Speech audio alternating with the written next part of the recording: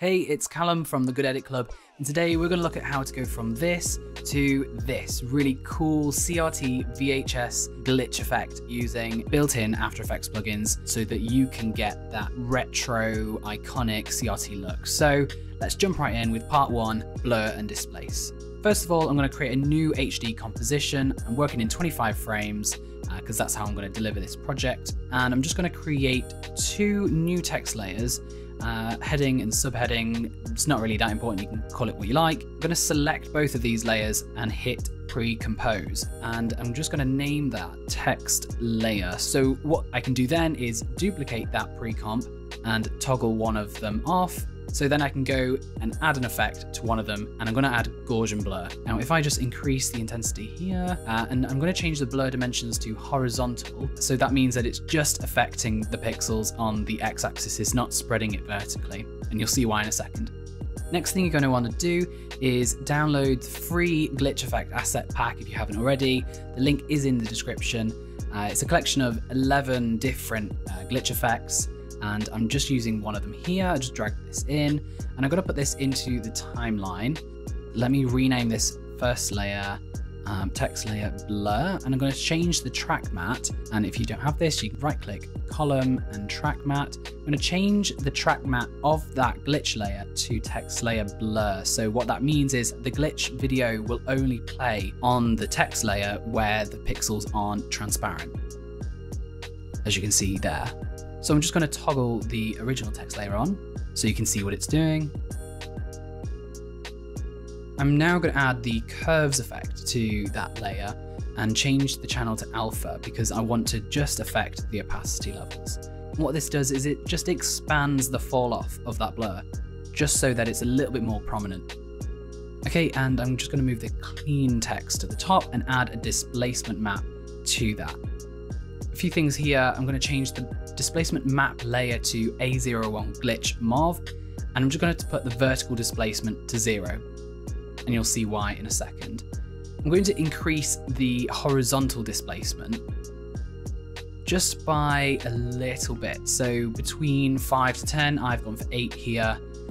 And I'm going to overlay the original glitch texture and choose lighten. You can choose lighten or screen. I've gone for lighten here and then hit T to bring up the opacity. I'm just going to bring it down a little bit. Next, I'm going to add a new adjustment layer and I'm going to add glow to that adjustment layer. Now, the glow effect in After Effects isn't that great, um, but we can get some decent results from it. So what I like to do is just increase the intensity all the way up and bring the threshold all the way down and, and find the point where I like the selection that it's got. So I increase the blur radius to my liking and decrease the intensity just so that it's a little bit subtle and toggling it you can see before and after. Next I'm going to add grain to the adjustment layer. Um, you can add noise instead but I've just gone for uh, grain and I'm keeping it really simple here. I'm not going to go into too much detail but I'm just going to select a preset and change just a few of the parameters including the channel intensity, because I want the output to be a little bit more blue. That's the sort of effect I'm trying to go for, so I increase the blue intensity just a tiny bit. Then I'm going to apply a curves to that adjustment layer, and I'm going to go on the blue channel, and I'm just going to do a little bit of tweaking around here. So I like the blue, but it's brought in some red, so I'm going to bring that down. And this is just about experimenting, trying to find the color that works for the look that you're going for. And as I said, I'm trying to go for that blue look and I don't really like the purple in it, so that's why I brought the reds out. Then I'm going to add another glow to the text layer blur, just so that it, it reaches out a little bit more because I wanted it to be a bit more prominent. And again, this tweaking, experimenting is all part of what makes it a really exciting process. Now in part two, I'm going to dive a little bit deeper and look at how we can use some of these textures as transitions. So I'm going to bring in another glitch texture from that asset pack. And what I like about this one is that it gets really crazy at the end. Uh, and that's the portion that I want to use to affect some of the text. So I'm going to bring this into the timeline and begin to trim it. And a little shortcut that I like to do is where my playhead is, if you press option and open square bracket, you can just trim that there. And I'm gonna look for another frame which is kind of sparse that'll work really well as the end frame for that intro transition.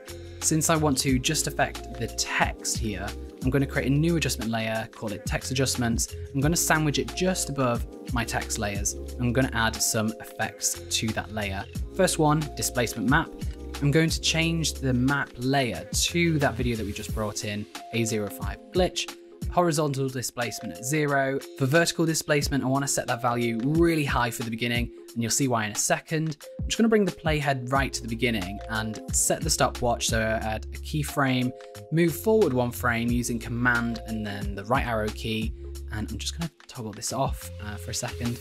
And what I want to do is for every frame that I move forward, I want to set a new value for that vertical displacement so that it, it's really jumpy and I'll repeat the process.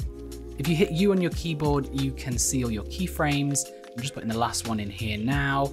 So as you can see there, it just gets a bit chaotic. It's like jumping all over the place. What I want to do is I'll bring that glitch texture back in and change the blending mode to lighten. So we're almost doubling that effect. I'm going to repeat the same process with a third glitch texture. This is B05. This is a really strobe-like effect. What I like about this one is that you get some really cool artifacts at the end. So I'm going to do pretty much the same, but just use it as an outro transition. So rename this transition in, and then this one transition out, and do my trimming and place it where I want the transition out to be. And then I'm just going to trim my work area here just to five seconds. As you can see, I could I could leave that effect like that, but I do want to go a step further. I'm going to change the blending mode to lighten, and then back on that text adjustments layer, I'm going to rename this displacement map transition in just so that we don't get confused.